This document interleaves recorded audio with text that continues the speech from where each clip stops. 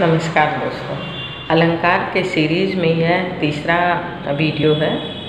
और जैसे मैंने पिछले वीडियो में कहा था कि मैं रिसाइट करूँगी तो रिसाइट करने के साथ साथ मैं डिस्क्रिप्शन बॉक्स में भी ये अलंकार लिख दूँगी, इसका आरोप और अवरोह ठीक है? पहले हम लोगों को बहुत स्लो में रियाज करना है। जब स्लो में पूरी क्लैरिटी आ जाए और उंगलियाँ हमारी इक्वली उसको प्ले करने लग जाएँ उसके बाद फिर हम लोगों को धीरे धीरे फास्ट प्ले करना है, ठीक है? तो ये अलंकार है। गा रे सा मा गा रे पा मा गा धा पा मा नी धा पा सा नी धा ते सा नी गा रे सा। ये था आरो, अब अवरो।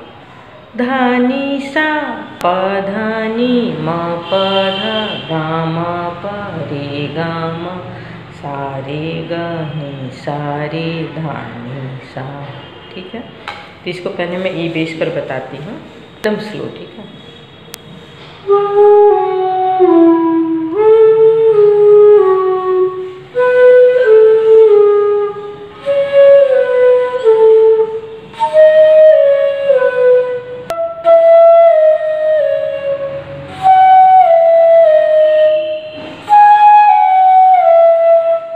ठीक है?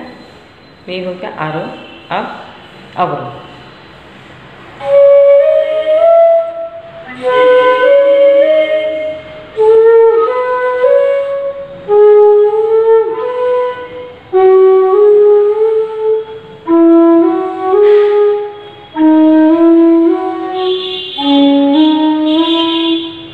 ठीक है, इसको एकदम स्लो स्लो इतना रियाज कर लेना है कि एकदम क्लियर बजे, हर सर और फिर उंगलियाँ भी एकदम सही सही बैठे। ठीक है इक्वल इक्वल वो ड्यूरेशन के साथ मतलब ताल में हो रिदम में हो। ठीक है, फिर थोड़ा फास्ट करेंगे।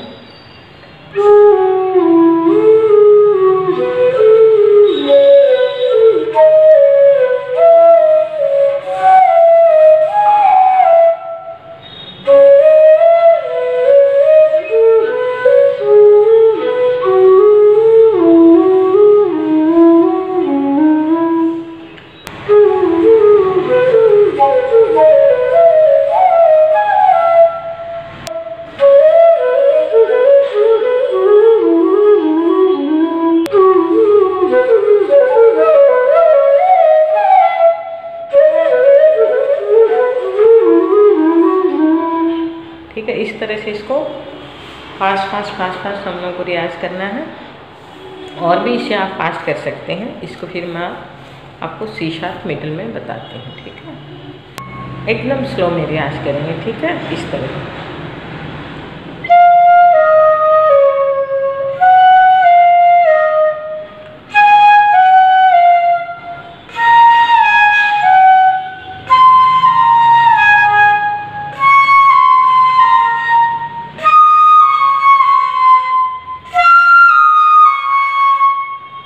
ये हो गया आरो अब आवरो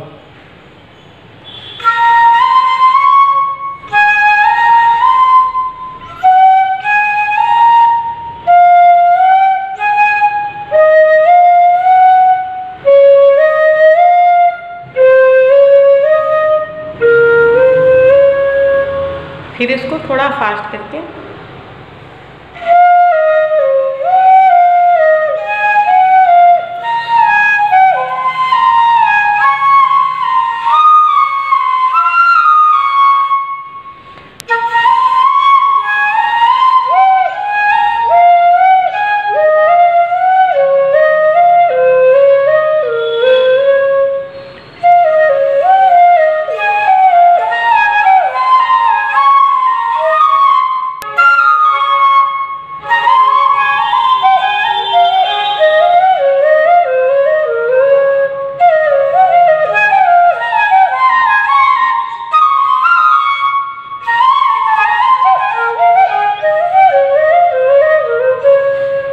मतलब इस तरह से कर करके फास्ट इसको करना है, लेकिन पहले एकदम स्लो रियाज करेंगे।